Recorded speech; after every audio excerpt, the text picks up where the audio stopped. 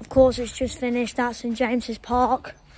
Newcastle nil, Arsenal two, and a big, big win for Arsenal. it's a big win as they keep the pressure on Manchester City in the Premier League title race. But yeah, um, Newcastle is their second home defeat of the season. A frustrating one for them. I think I think I think the final third really let them down in my opinion. You know, their passes weren't good. They just everything just went wrong for them in the final third. Defensively, I think both teams were a bit sloppy. But of course, you know, Arsenal took the lead. Well, to be fair, but actually, Newcastle started really, really well. Um, Newcastle started really, really well, in my opinion. Um, you know, they had a, they had some really good chances, but then um, Arsenal, well, Arsenal were a bit panicky, but then of course they got the goal from Odegaard. It was a good goal, to be fair. Good, it's a good goal. Um, hit it with his lace, powerful shot. Nothing really that uh, Martin, sorry, not not Martin Odegaard. That um, Pope could really do about it. And then, uh, but yeah, like a. Sorry that, was my dog there. Um, but yeah, anyway, but like I said, I think the final third really let Newcastle down. I think a probably a stupid mistake, in my opinion, to put Isak out wide and Wilson in the middle. I think I would have put Wilson out wide and Isak in the middle. I think Isak's better being in the middle of the front three than out on out on the wing because you know Isak scored more goals than Wilson I think this season so I think it's better to put him in the middle than Callum Wilson out wide. And I've lost the dog. Where's the dog? Where's the dog? Poppy oh there you are. So yeah. Poppy, please give your match reaction to the camera. It good. And Arsenal just cheating again. But yeah, anyway, um, like I said, the final third really let Newcastle down, in my opinion. Yeah, the final third really, really, really let Newcastle down. They kept losing the ball. Every time they tried to play a through ball, Arsenal won it. For me, for me, I thought Guimaraes and Trippier were really poor today. Today, I expected better from them, considering how good they are.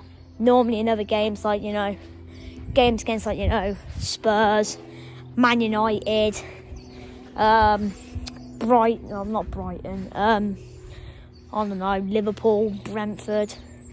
Villa, well not Villa, well I don't know.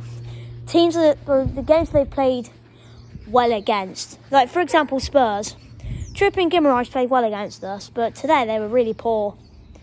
They were really really poor today, especially Guimaraes. Guimaraes' first touch was appalling. Literally, let me get this foot. Ow! I'm put this pen down. So I got a football. I just put the phone on the shed. It stays up. Brilliant. Literally, give me right his foot. Okay, Literally, give me his first touch like that, and then then Trippier. Trippier, free kick's gonna get past the first man, and nor could the free kick, but Guimaraes, first touch. It's so. Guimaraes' first touch was absolutely appalling. If I have to be honest, it just wasn't good enough.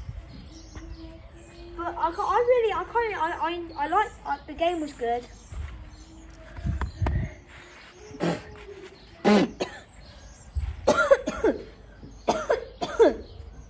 the game was good. It was very feisty. I think, I, I think, you know what? Fair play to Chris Kavanagh, the referee. He had a very good game. He had a very good game.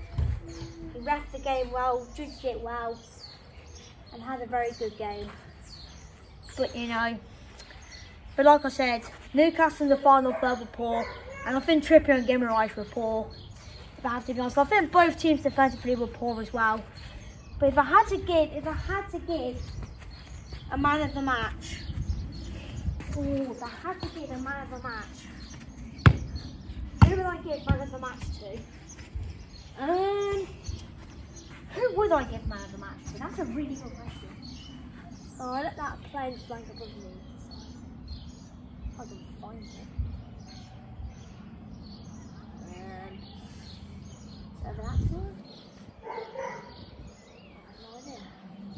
Oh, there it is. Plane, who's man of the match? I don't know, but yeah.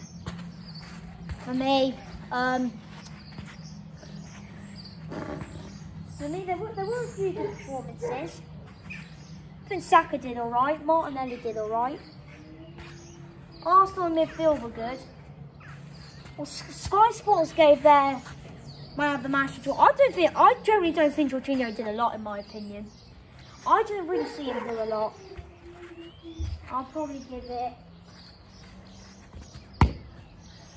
Mm, I'll give it to Martinelli. He did well. So yeah, I'm gonna end the video here. I might do a reaction to West Ham, maybe. Maybe, yeah, anyway, bye.